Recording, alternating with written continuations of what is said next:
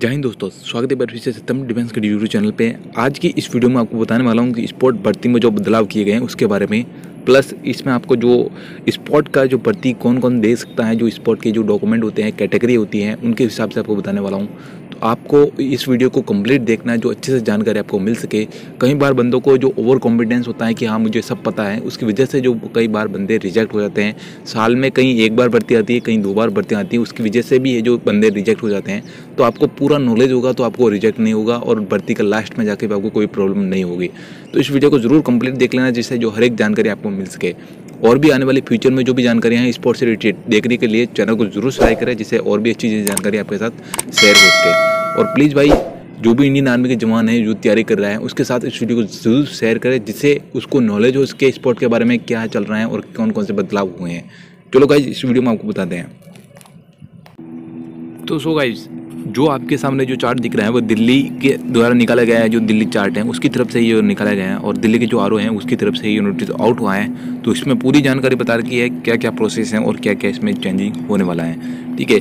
और प्रेजेंट में जो सभी भर्तियाँ जो आज से, यानी आपके जो भी आने वाले जनवरी में है या दिसंबर में जो भी भर्तियाँ हैं, चाहे किसी भी प्रकार की कोई भी भर्ती है, स्पोर्ट्स से हो या अपने इंडियन आर्मी की कोई भी वैकेंसी है तो उन सभी में ये नियम लागू रहेगा जो अपने बहुत ज़्यादा इंपॉर्टेंट है। सबसे इम्पोर्टेंट इससे पहले मैं आपको एक चीज़ बता दूँ कि वेट और हाइट दो में ही बदलाव किया गया है। वो कैटेगरी के हिसाब से रहेगा, बाकी कोई भी चेंजिंग नहीं हुआ है। जो भी स्पोर्ट की भर्ती होगी, उसमें हाइट और वेट में चेंजिंग मिलेगा आपको। बाकी किसी भी प्रकार की कोई भी आपको चेंजिंग नहीं रहेगा।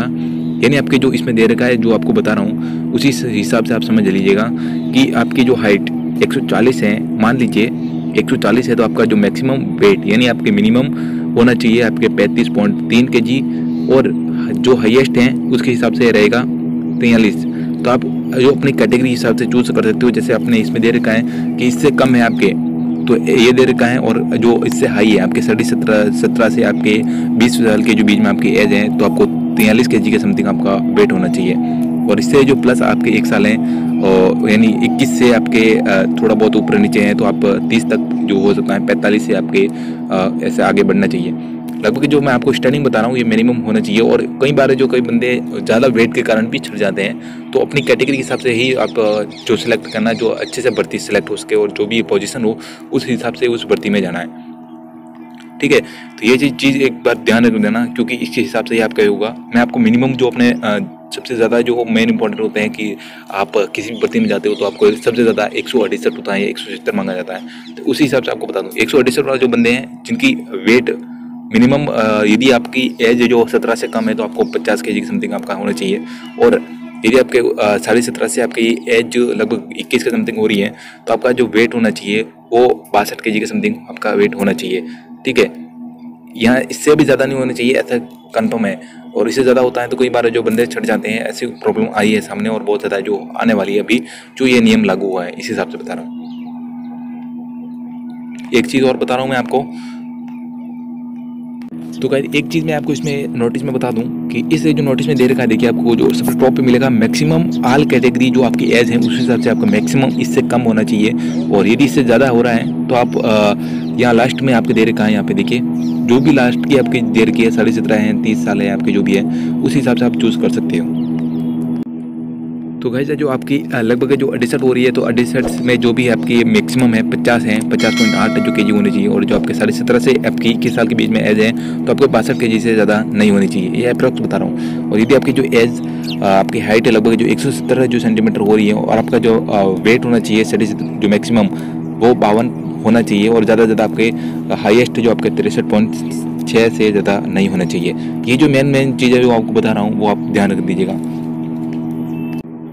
ठीक है? ये जो ये सारी चीज़ें मैंने आपको बता दी। बाकी जो अपनी कैटेगरी के हिसाब से जो भी आपकी हाइट है, उसी हिसाब से आप देख सकते हो। यानी आपकी जो ये हाइट है और आपका ये मैक्सिमम वेट है और आपकी जो भी कैटेगरी आपकी साढ़े सत्रह है, आप तैंतालीस साल के हो, जो भी है लास्ट की जो आप फोर्टी यहाँ पे दे रखा है तो अपने हिसाब से देख सकते हो। पहले ये जो रूल और ये नियम लगभग जो ऑफिसर लेवल के जितनी भर्तियाँ होती थी, उनमें ये लागू था, लेकिन अब आज से लगभग ये जितनी भी जो अपने इंडियन आर्मी की जो भी भर्तियाँ होंगी, उनमें सब लागू होने वाला है और ये लागू चल रहा है। अभी जो भी जो भर्तियाँ आएगी, उनमें सब ये प्रोसेस रहेगा और होने वाली जो भी आज से जो भर्ती होगी, आज के बाद जो भी जितनी भी भर्तियाँ होने वाली है, सभी में ये नियम लागू रहेगा। ठीक है? ये जो बदलाव किया गया है इसमें जो बहुत से बंदों को छूट भी मिलेगी, बहुत से बंदों की जो शायद लास्ट में जाके कैटेगरी छूट भी सकती हैं, उससे बाहर भी हो सकते हो।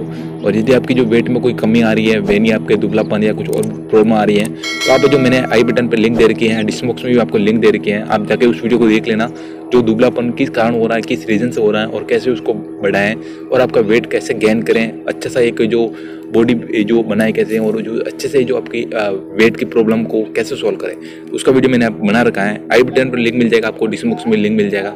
चेकआउट कर देना। अब गाइस दूसरे टॉपिक्स बात करें कि आपको कौन सा कैटेगरी होनी चाहिए स्पोर्ट में, उस हिसाब से आपको देखनी चाहिए। तो सो गाइज़ अब बात करें आपके जो गेम्स लेवल होते हैं, उनमें कौन कौन सा आपका गेम्स होना चाहिए, उसके हिसाब से चले। कोई बंदे होते हैं कि यार, उनको एक सही जानकारी नहीं मिल पाती है कि ये जो आपका हमारा ये सर्टिफिकेट है तो चलेगा, नहीं चलेगा, या हमारे कुश्ती का सर्टिफिकेट है तो चलेगा, नहीं चलेगा, या अपना दौड़ का है तो कोई चलेगा, नहीं चलेगा। तो इन कैटेगरी आपको ऑल कैटेगरी बता रहा हूँ, आप समझ लीजिएगा। कहीं तो आपके जो ट्रैक से ट्रैक क्षेत्र की घटना से या आपके ट्रैक से जो फिर आपकी दौड़ होती है, आपके सोलह सौ होती है, सौ मीटर है जो आपके उस उस कैटेगरी हिसाब से आपके जो भी है तो आप उनसे भी आप ट्रैक से रिलेटेड जो भी आपकी प्रतियोगिता होती है, उसके रूप से आपका नेशनल या स्टेट है, जो भी है, आप चल जाएगा। एथलेटिक्स से भी जो भी है, चल जाएगा। और तीर्थदाजी तीर्थदाजी जो भी हैं, आपको इंग्लिश में भी आपको शो कर दूँगा, ठीक है? और ये नॉर्मली आपको बता रहा हूँ कि ऐसे थ्रू आपको मिल जाएगी। यदि आपके इसमें सर्टिफिकेट है तो आपका चल जाएगा। बास्केट से हैं, और मुक्केबाजी क्रिकेट और जो साइकिलिंग और घुड़सवार फुटबॉल बाढ़ लगाना। बाढ़ लगाना और कसरत बॉडी बिल्डिंग और golf hockey handball judo kabaddi और कयाकिंग और कैनोइंग बोला जाता है। ठीक है, ये भी एक जो गेम होता है।